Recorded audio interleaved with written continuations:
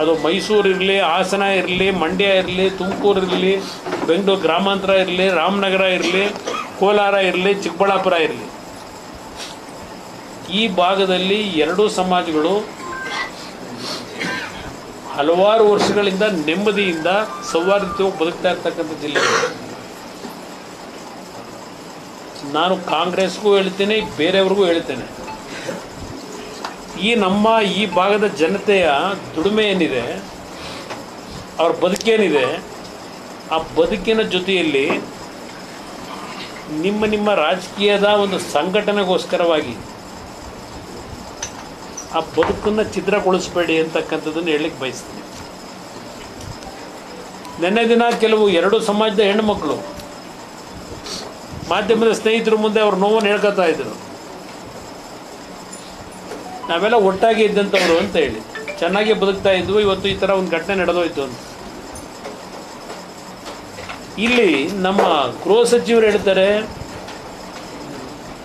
ಇದೊಂದು ಸಣ್ಣ ವಿಷಯ. ಇದನ್ನ ಏನು ಅಂಥ ಮಹತ್ವ ಕೊಡಬೇಕಾಗಿಲ್ಲ ನಾವು. ಇದನ್ನು ಅವ್ರು ಹೇಳ್ತಾ ಇದ್ದಾರೆ. ಆಕಸ್ಮಿಕವಾದಂಥ ಒಂದು ಘಟನೆ ಇದು ಅಂತ ಹೇಳಿ. ನಾನು ಪರಮೇಶ್ವರ್ ಅವ್ರಿಗೆ ಹೇಳ್ತೇನೆ ಈ ರೀತಿಯ ಹೇಳಿಕೆ ಕೊಡ್ತಕ್ಕಂಥವ್ರ ಮುಖಾಂತರ ನಿಮ್ಮ ಗೃಹ ಇಲಾಖೆ ಇವತ್ತು ಯಾವ ಸಂದೇಶವನ್ನು ನಾಡಿನ ಜನತೆಗೆ ನೀವು ಕೊಡ್ಲಿಕ್ಕೆ ಹೊರಟಿದ್ದೀರಿ ನಿಮ್ಮ ಪೊಲೀಸ್ ಕಂಪ್ಲೇಂಟ್ ನಿಮ್ಮ ಅಧಿಕಾರಿ ಕೊಟ್ಕೊಂಡವನಲ್ಲ ಯಾರೋ? ಇದನ್ನ ನೋಡಿ ನೀವಿಲ್ಲಿ. ಪರ್ಮಿಷನ್ನು ಕೊಟ್ಟವ್ರು ನೀವೇ.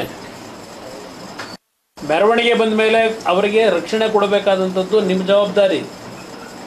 ಇದು ಆಕಸ್ಮಿಕ ಅಂತಕ್ಕಂಥದ್ದನ್ನು ಹೇಳ್ತಾ ಇದ್ದೀರಿ ಇಲ್ಲಿ.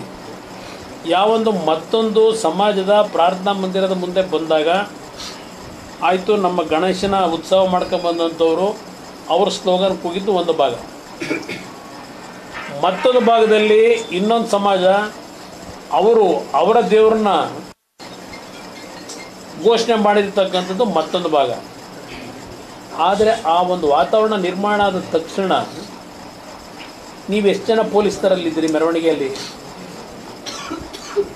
ಡೆಪ್ಯುಟೇಷನ್ ಎಷ್ಟು ಜನ ಇಟ್ಟಿದ್ದೀರಿ ನಿಮ್ಮ ಪೊಲೀಸ್ ಸರ್ಕಲ್ ಇನ್ಸ್ಪೆಕ್ಟರ್ ಎಲ್ಲಿದ್ದ? D Y S ಎಲ್ಲಿದ್ದ?